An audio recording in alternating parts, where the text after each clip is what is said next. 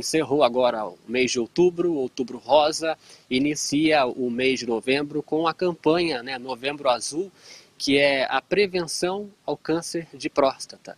E hoje nós estamos aqui na Secretaria Municipal de Saúde para comentar que a Secretaria vai realizar uma campanha, começar uma campanha interna com os próprios funcionários agora no próximo final de semana. Depois, né, para se estender aí para a população, para levar esse recado para os homens fazerem esse exame. Por isso nós estamos aqui hoje ao lado da Daiane Vieira Teodoro, ela que é coordenadora da Atenção Básica, vai explicar para a gente como é que vai funcionar tudo isso. Daiane, muito bom dia. Como que a saúde vai começar e está começando, né, esse mês de prevenção aí ao câncer de próstata. Bom dia, Matheus. Bom dia a todos que nos acompanham pelo Assisite. É, agora, no sábado, dia 6, a gente inicia a campanha do Novembro Azul com um jogo de futebol para os nossos servidores municipais. Então, diversos servidores lotados nas nossas secretarias de Educação, Meio Ambiente, Saúde, do Paço Municipal, se inscreveram aí para poder estar tá fazendo essa, essa manhã, né, com uma prática de esporte e recebendo orientações sobre a prevenção né, do câncer de próstata. E a gente também nesse dia vai estar tá conseguindo colher o exame de PSA, que é uma sorologia, né, um exame de sangue que pode estar tá detectando alguma alteração na questão da, da próstata. Essas campanhas a saúde sempre costuma fazer nos postos, né? Tanto em SF como UBS. Tem algum planejamento aí já em mente para esse mês? Sim, Matheus.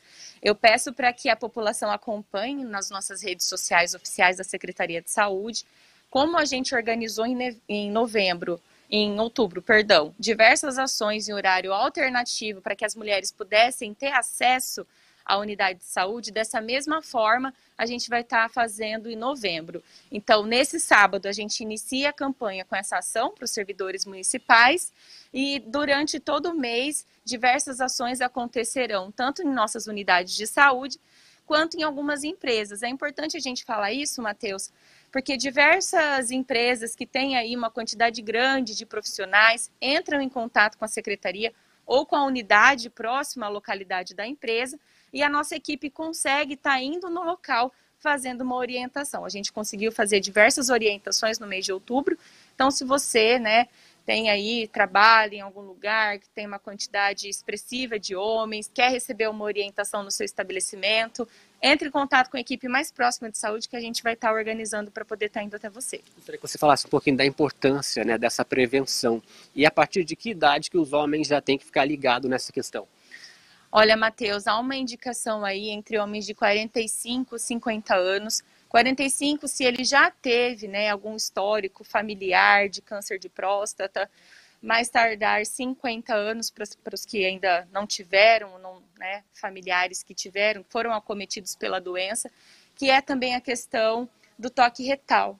É um importante exame clínico que pode aí fazer toda a diferença no diagnóstico precoce do câncer de próstata. A gente sabe que a procura dos homens para o cuidado de saúde é muito inferior à procura que as mulheres têm né, para o seu cuidado de saúde. E a gente está aí nessa campanha né, com mais prevenção e menos preconceito. Então, o preconceito ainda é muito grande com essa questão? Ainda é muito grande, Matheus.